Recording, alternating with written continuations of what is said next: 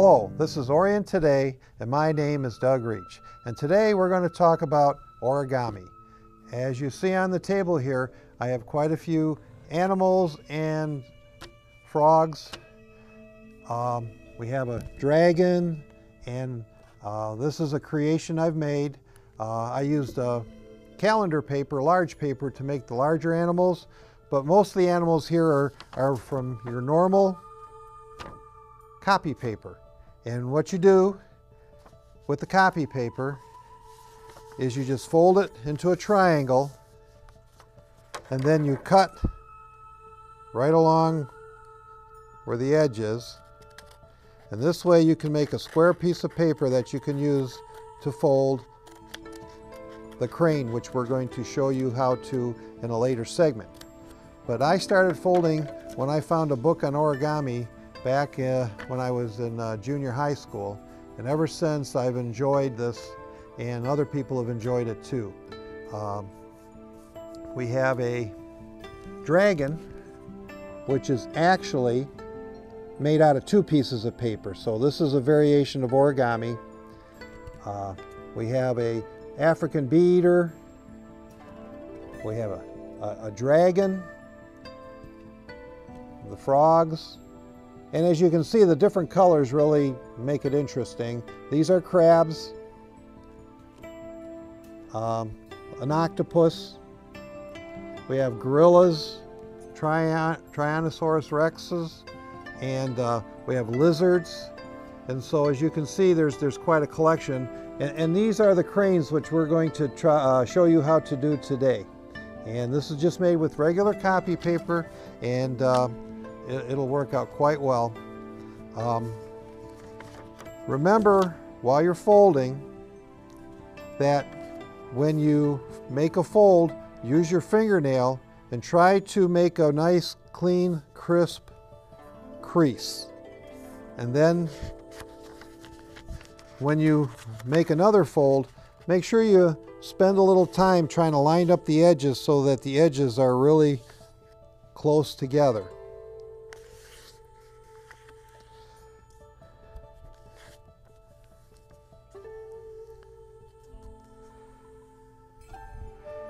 Like, but like I was saying, back in uh, junior high school, I learned to fold the frogs. And I quickly found out that the girls really liked the frogs.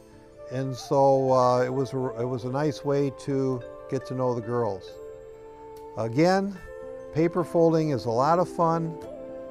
Just be patient and take your time making the folds. If you get in a hurry and you mess up, you can always get a clean sheet of paper and start over again. So, as we fold the origami paper, Again, I want to stress that you make sure you use your fingernails to make nice crisp folds and that you try to line it up. Now, what we're going to do is, as we're starting, we're going to do what we call the basic fold. It's a, uh, we get to a certain point and from there, various animals can be made from it. So now that you've got your diagonal folds, you turn the paper so it kind of points up. You notice how the paper points up and now you're going to fold half, like this.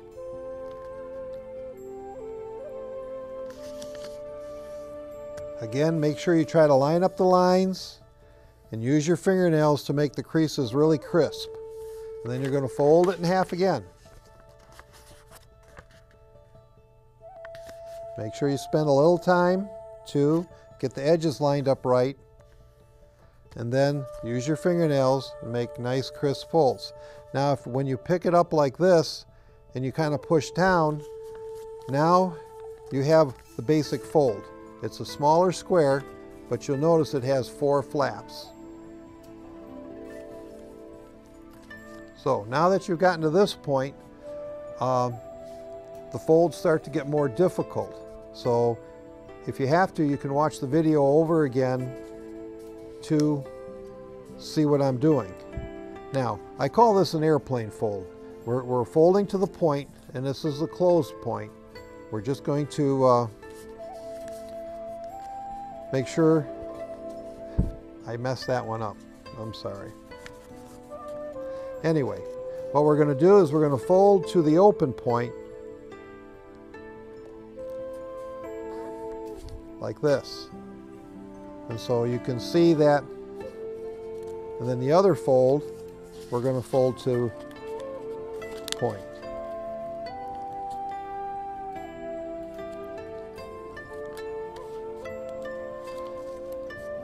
And so now it looks something like a kite. You got the, use your fingernail again to make the folds crisp. Now you're going to open it up and you see the two folds here. You're going to lift it up. And what's going to happen is you're going to push this part in like this. And the bottom part will fold in and the top part will fold the other way from where you made this fold. Again, you're going to take the corner and you're just going to put, lift it up, push it in, and you'll see that this part folds and this part, you just refold it. And so now it looks like this. Turn it over, and now we're going to do the same thing again. You're going to make an airplane fold to the flaps that open up.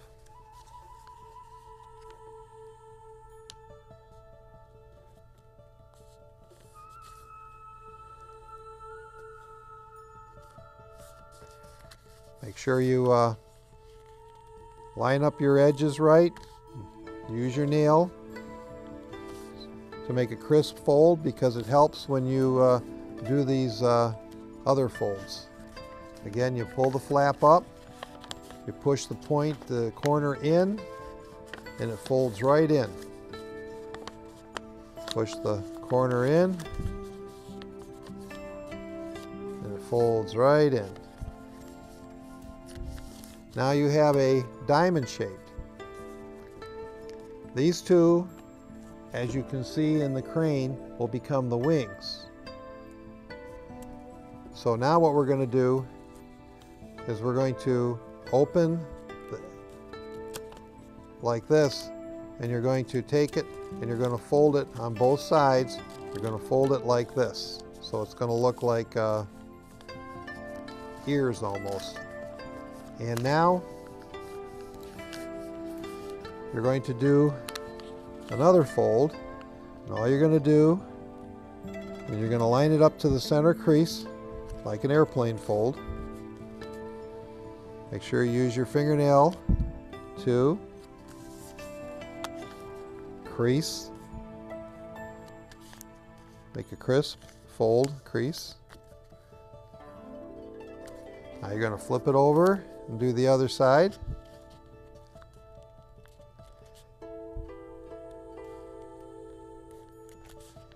After you've folded a, new, uh, a number of the uh, cranes, you'll uh, remember how to do it without watching.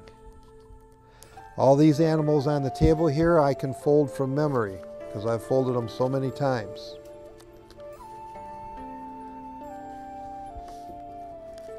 Okay, and now you're going to take and uh, you're going to fold them like this, and the other side like this, and you're going to have this.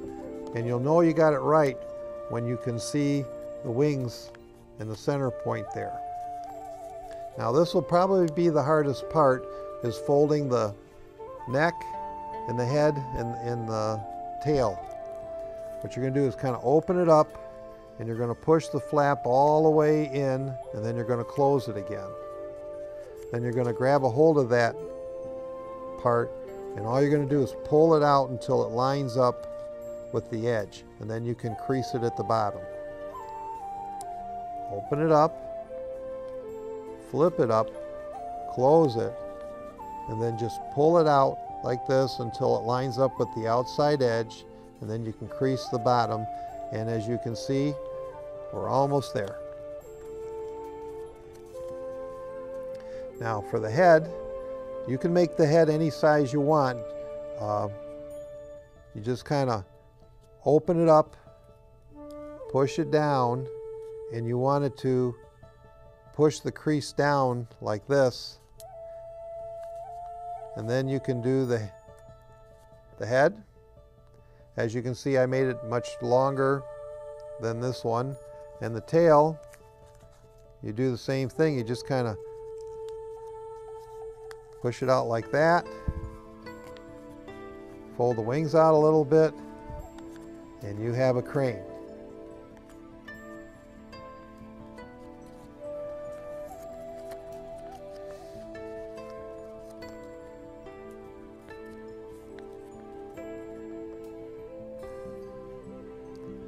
And that is a crane. Now it might not look like this the first time you try to fold, but just remember practice makes perfect. And uh, with that, this is Orion Today, and we'll see you in the next segment. Load up the family and head on out to Friendship Park for a good old time in Orion Township's Barn Days on Saturday, September 17th from 11 a.m. to 5 p.m. Kick off the fall season with a hay wagon ride, pony rides, a petting zoo, carnival games, a bounce house, and more. That's Barn Days on Saturday, September 17th. The cost is $5 per car load. For more information, call 248 391 0304, extension 305, or visit oriontownship.org. Welcome back to Orion TV. I am Doug Reich. And today, I mean, right now, we're going to talk about the, uh, the book that I have, Origami Animals. And you can find most books at uh, your li uh, local library. You can uh, find them at uh, bookstores. Uh, there's another ways you can go on YouTube and they'll show you how to fold the animals. But the origami books are, are really neat because they show you all the different directions on how to make folds and understand what you're looking at when you fold the animals. And this is really neat. Um, and if there's something you don't understand, uh, you can go on YouTube and people have actually uh, got uh, videos on how to make the more difficult folds. Uh, again, you can get origami books at any bookstore and you can usually find them at your local library. Right now we're going to make a box and uh, this is very popular in, uh, I remember in school that uh, people were showing me how to make a box and uh, you start out with the same basic fold like we did before. You can fold your copy paper and you can cut it along the edge and make a square and then you're going to you'll have the one fold.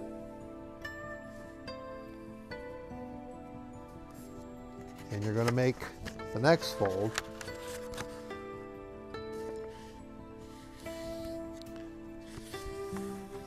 Make sure you spend time lining up your edges and making a good crease.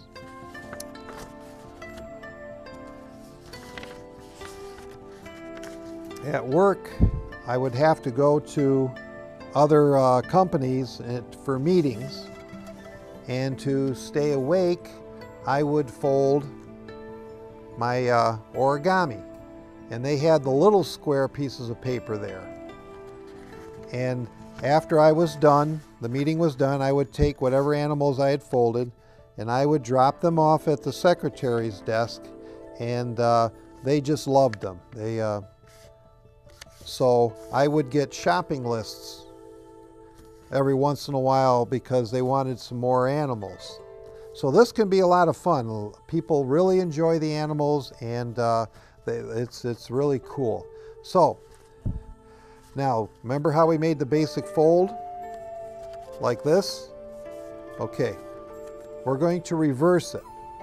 What you're going to do is open it up and you're going to turn it the other way so it ends up looking like a big triangle like this.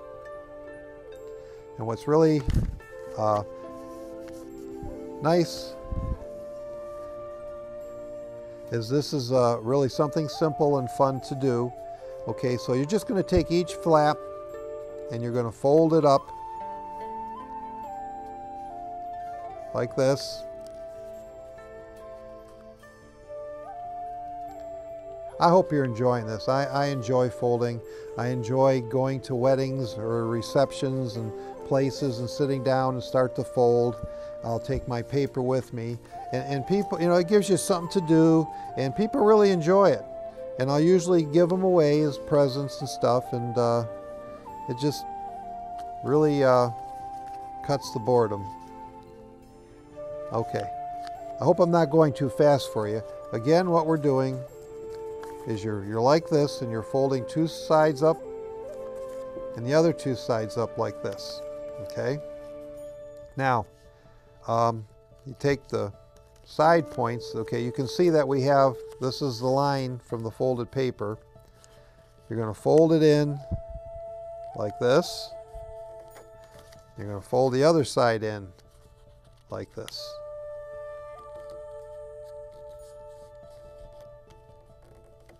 Again, take the time to make nice, crisp edges with your nail. Okay. And then find the ones where there's little flaps like this. And you're just gonna fold it back along this edge here. Then you're just going to fold it back like this. Okay? Again, you're going to take it, if you try to do the other side, it won't work. You got to do the side that has this little flap. You're going to fold it like this, and then you're going to take it and you're going to fold it back like this. You're going to take it, the other side, same thing, fold it the other way, and then you're going to fold it back. All right. Now, you're going to tuck these pieces of paper into this flap. So you're going to open it up a little bit with your finger, just kind of, and you're going to take this flap and you're just going to push it in. And it should just kind of slide right in and stay.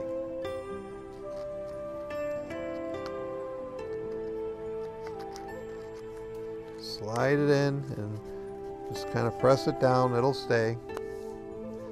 Then you're going to turn it over and you're going to do the same thing on the other side. You're going to fold it both ends in to the center.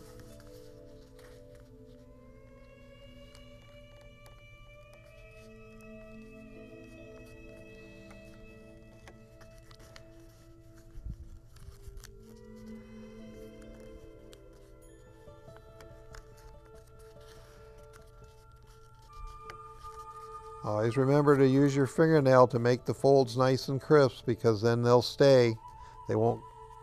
You'll realize that if you didn't make the folds well enough, the animals will undo themselves and open up.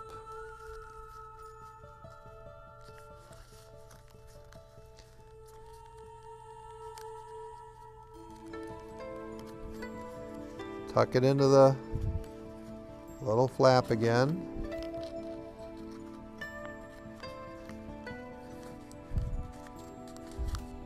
Now you, you're going to ask me, how can this be a box? This is the fun part for the kids. If the paper is too stiff, it takes a lot to blow it up, but you can see where it's kind of like a, you know, okay? So now on the one end, there's a little opening. And just like a balloon, you have to blow it up. And just like a balloon in the beginning, it's kind of hard to get it to blow up. Like I said. And as you blow it up, if you push it into your face, it'll uh, fill up really nice. And then all you need to do is kind of make the creases for the edge of the square, like this. And if it gets kind of folded over itself, just kind of pull it apart like this here. Just pull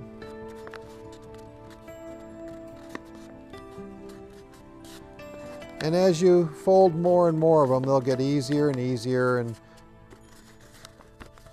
and now you have a, a box. And it's kind of neat because uh, it was a square piece of paper. And all these animals are made out of a, a square piece of paper. There's no cutting, there's no glue.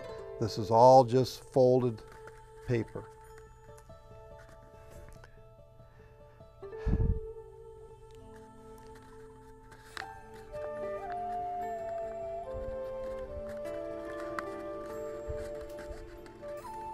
I have personally signed each animal with my name.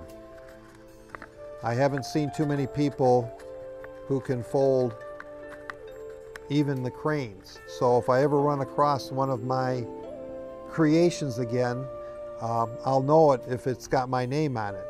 So I, I, I think it's really neat to be able to sign your masterpieces, if you want to call them that.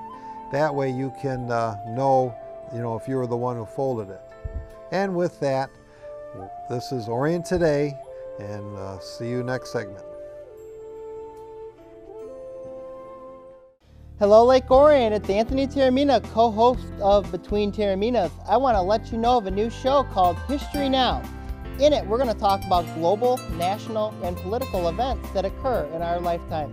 We're going to also have guests and also have co hosts as well, and also plenty of surprises. Catch us on History Now here on ONTV.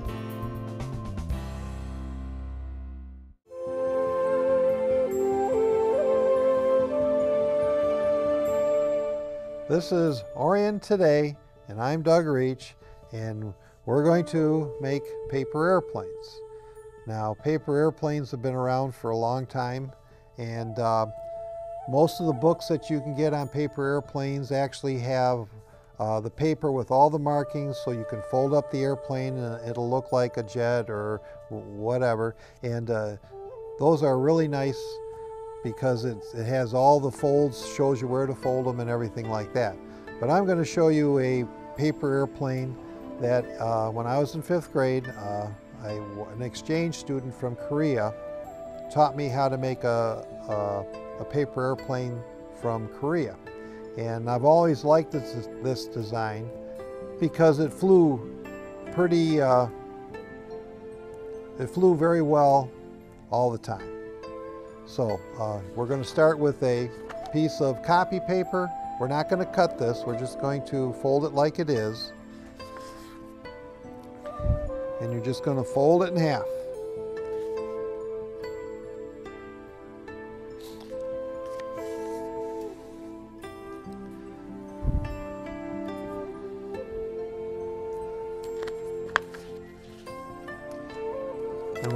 Standard uh, paper airplane fold, fold to the center.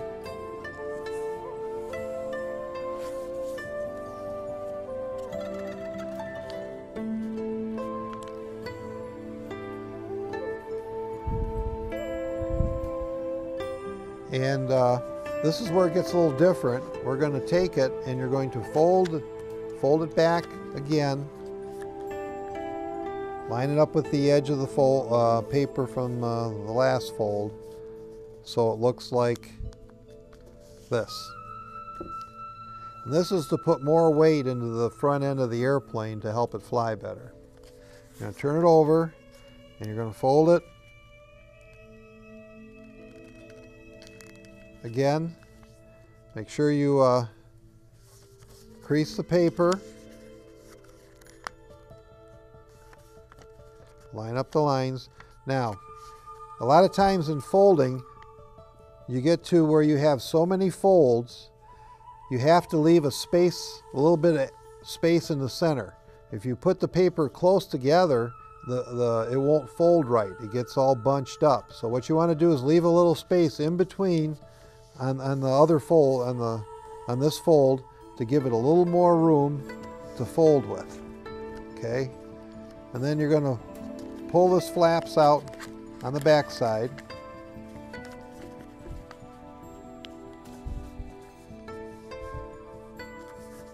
and then you're going to turn it over again and you're going to fold these in. Again, this is to put more weight in the nose of the airplane so the airplane is balanced right. Okay, so the bottom half is just going to have this one edge here and we're going to have everything folded on the inside. Okay, so now when we fold it in half like this, the paper isn't bunched up in here so it folds really nice. Now this is where you have to pay more attention. What you want to do is you want to fold it down like this so and you try to line up the edges so that you get this edge nice and straight. So this fold here, so the wings is folded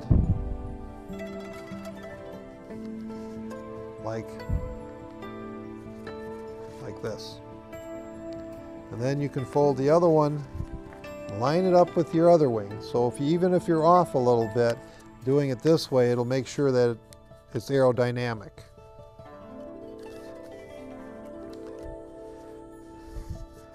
Whenever I fold paper airplanes for the little kids, I, I, think they have the most fun with them.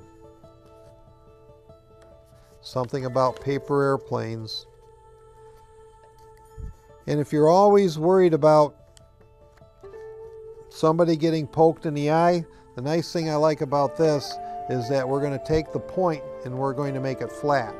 So these little flaps here, you just kind of stand those straight up and so now it kind of looks like an airplane. So this here, we're going to open it up and you're going to take the point and you're going to fold it back like this. Okay? And then you're going, that now you're going to fold it. And, and you don't want to make this crease here until you get it closed all the way. And then when you fold it this way, it'll hold the shape of the airplane. Now you have a flat end, you don't have to worry about eyes getting poked or anybody getting hurt. And now we have a, a, a finished airplane. So, um, your other typical airplanes that you've seen before are much longer. This one's has more weight in the nose and it's more balanced for flying. Now remember, when you're folding an airplane, if you mess up, just keep trying um,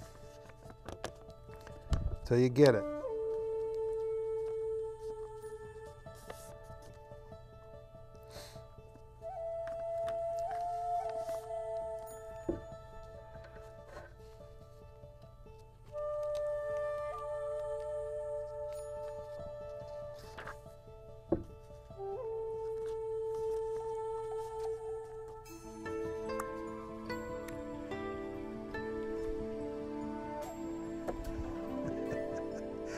And that's the paper airplane.